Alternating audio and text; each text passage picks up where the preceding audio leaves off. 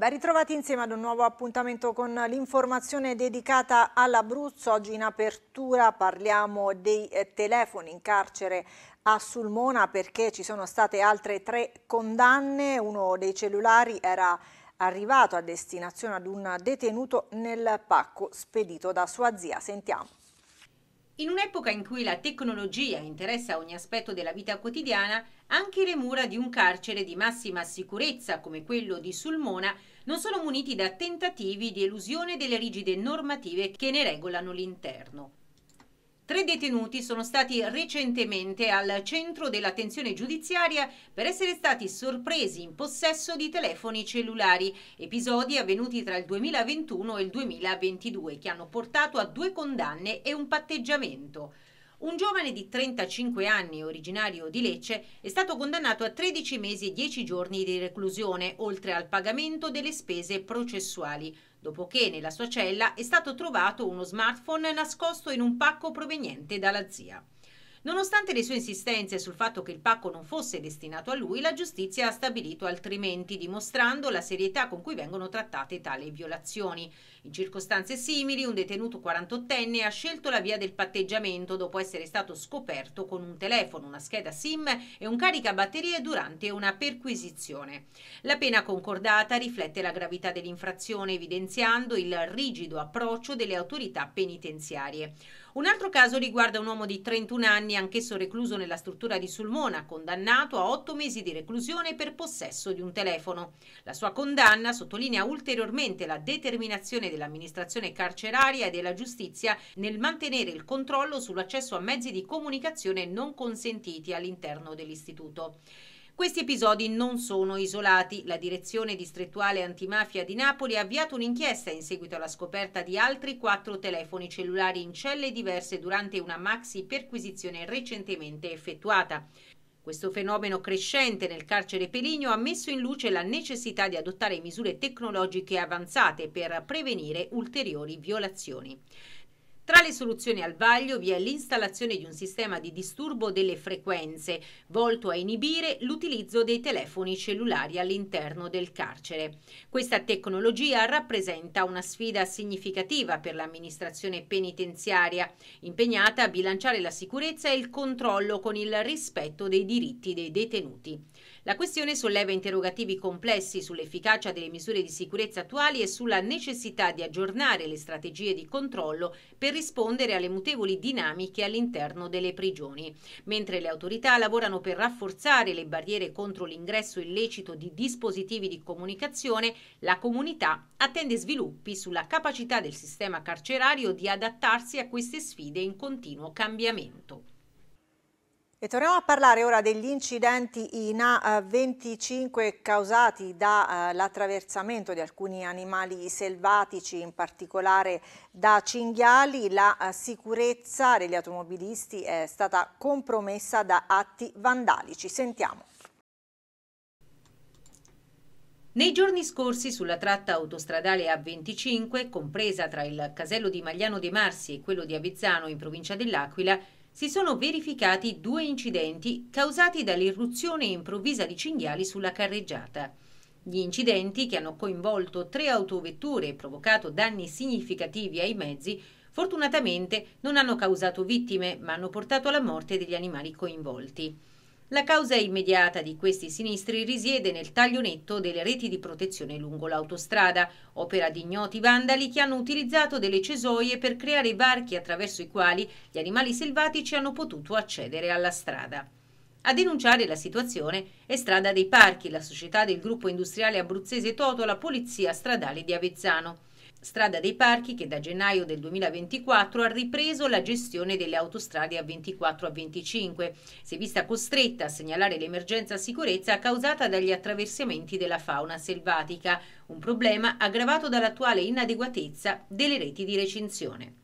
La problematica non è di poco conto, considerando che l'infrastruttura in questione attraversa aree protette e parchi per lunghi tratti in Abruzzo, zone in cui la presenza di animali selvatici, tra cui cinghiali e cervi, è tutt'altro che sporadica. In questo contesto emerge la necessità di interventi urgenti per prevenire ulteriori incidenti e garantire la sicurezza di chi viaggia. Tuttavia il progetto avviato da Strada dei Parchi in collaborazione con l'Ente Parco Nazionale d'Abruzzo, Lazio e Molise, che prevedeva un investimento di 80 milioni per la realizzazione di reti speciali a maglia differenziata alte oltre 2 metri, è rimasto sostanzialmente fermo. Nonostante un primo investimento di 1,3 milioni da parte della società per avviare il progetto, solo i primi 4 km di rete sono stati completati. Strada di Parchi, ora tornata alla gestione delle autostrade abruzzesi e laziali, esprime nella sua denuncia la volontà di procedere penalmente nei confronti dei responsabili degli atti vandalici, qualora venissero identificati. La società chiede che vengano applicate le punizioni previste dalla legge per tali reati, sottolineando la gravità della situazione e l'urgenza di trovare soluzioni efficaci per la sicurezza stradale e la protezione della fauna selvatica. All'interno del parco Sirente Velino invece le videotrappole hanno ripreso un orso a caccia di cibo dopo essersi svegliato dal letargo. Una mamma con i suoi cuccioli invece sono stati avvistati nei pressi della superstrada Liri. Il parco raccomanda dunque di non avvicinarsi agli animali per filmarli o fotografarli proprio anche per evitare incidenti. La temperatura primaverile risveglia gli orsi dal letargo che, affamati dopo i mesi invernali, partono alla ricerca di cibo. Le immagini riprese dalle videotrappole nella zona della valle subequana del parco Sirente Velino mostrano infatti un orso a caccia di qualcosa da mangiare. Indicazioni più precise sulla posizione dell'animale non sono divulgabili in quanto, come sottolineato dal presidente del parco regionale Francesco D'Amore in un'intervista, gli esemplari che frequentano il parco sono orsi non confidenti ed è importante che restino tali per salvaguardare l'equilibrio uomo-natura che in questi anni si è creato nel parco grazie ad un'oculata gestione del territorio e al senso di responsabilità dimostrato da chi lo abita. Tornano comunque le raccomandazioni a chiunque dovesse avvistare il plantigrado di non avvicinarsi troppo, di non diffondere informazioni circa la zona dell'avvistamento, così da scongiurare eventuali rischi per la sicurezza dell'uomo e dell'animale. Non postare foto e video in cui si riconosce il luogo dell'avvistamento e soprattutto non spaventarli. Segnalare invece ogni avvistamento alle autorità competenti, carabinieri forestali, parco e sindaco, ricordando sempre di non avvicinare l'animale. Tra l'altro ci sono stati altri avvistamenti di una mamma e due cucciole a spasso per la Valle Roveto e nei giorni scorsi gli stessi sarebbero stati visti attraversare nei pressi dello svincolo di canistro della superstrada Liri. Alcuni automobilisti li hanno filmati con gli smartphone con il rischio di spaventarli o peggio di causare incidenti, come l'investimento tristemente noto di Juan Carrito.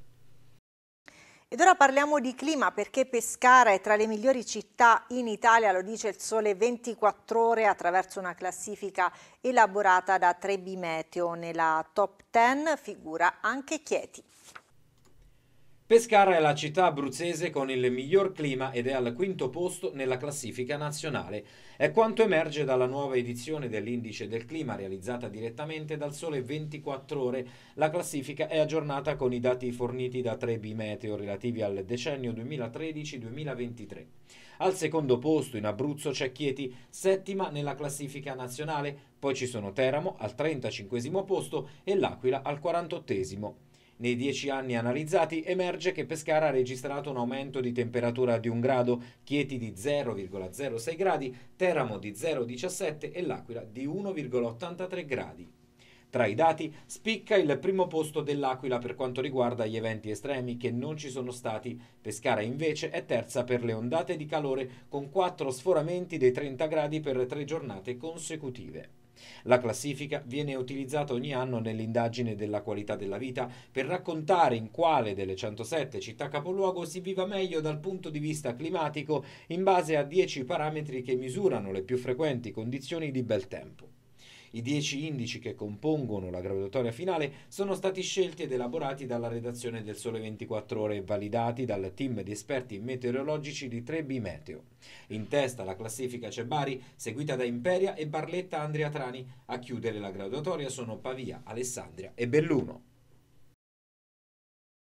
E chiudiamo con il calcio in eccellenza, campionato fermo, intanto la capolista Teramo si gode l'attacco eh, mitraglia, 114 gol segnati, Coppa Italia inclusa. Sentiamo Giussi Cingoli.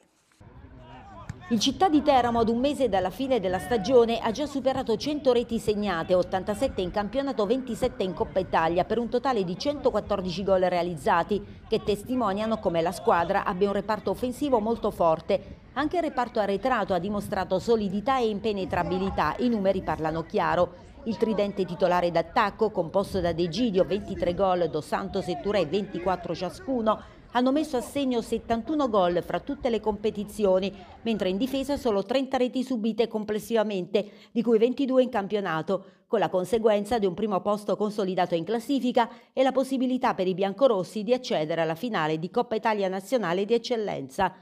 Con il campionato di eccellenza fermo fino al 7 aprile, quando il diavolo farà visita alla Vastese, i biancorossi comunque oggi pomeriggio si ritroveranno al campo di Nobesso di San Nicolò per effettuare la prima delle quattro sedute pianificate nella settimana pre-pasquale. Dopo le 11 partite ufficiali disputate in 38 giorni, Esposito e compagni si alleneranno fino a venerdì per poi godere di due giorni di riposo, prologo alla ripresa del lunedì pomeriggio di Pasquetta, avendo all'orizzonte la semifinale di ritorno di Coppa Italia contro il Paternò mercoledì prossimo 3 aprile e soprattutto un mese di aprile che si preannuncia essere decisivo sia sul fronte campionato che Coppa.